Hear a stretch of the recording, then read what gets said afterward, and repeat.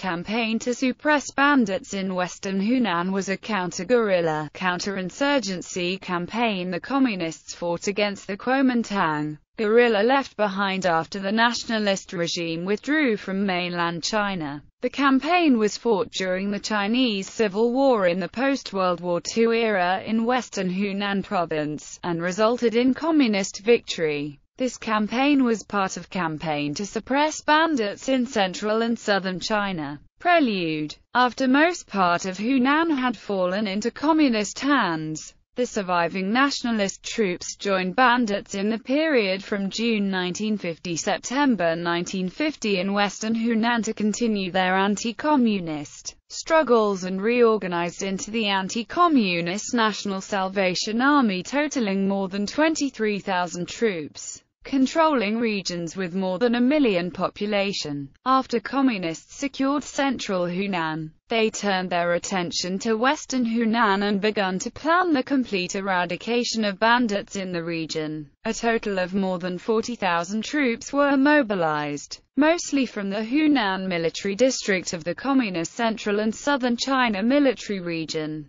Troops of the Communist 47th Army, 136th Division, and other Communist detachments in the adjacent provinces including that of Sichuan, Hubei and Guizhou were assigned to two commands, the Northern Command and the Southern Command respectively commanded by the Communist Western Hunan Military District Commander-in-Chief Cao Luwei and Deputy Commander-in-Chief Liu Xiangquan. Campaign The campaign was fought in two stages, with the first stage lasted from October 15, 1950 November 15, 1950. The Communists amassed a total of 10 regiments to first attack bandits in northern region of western Hunan based in the Dragon Mountains. After 10 days of continuous attacks, the local bandits were completely annihilated.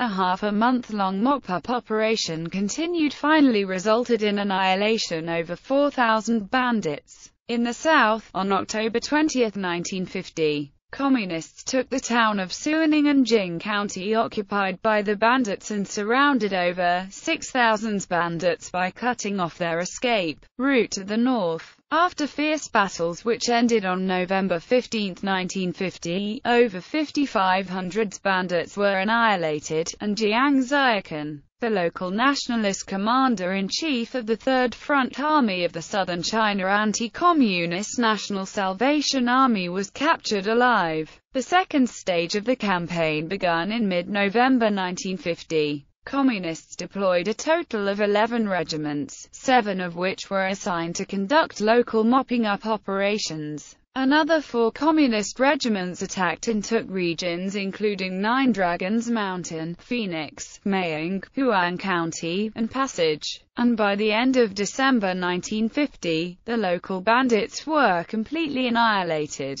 The campaign concluded with communist victory and the complete elimination of the problem of bandits that plagued western Hunan for several centuries.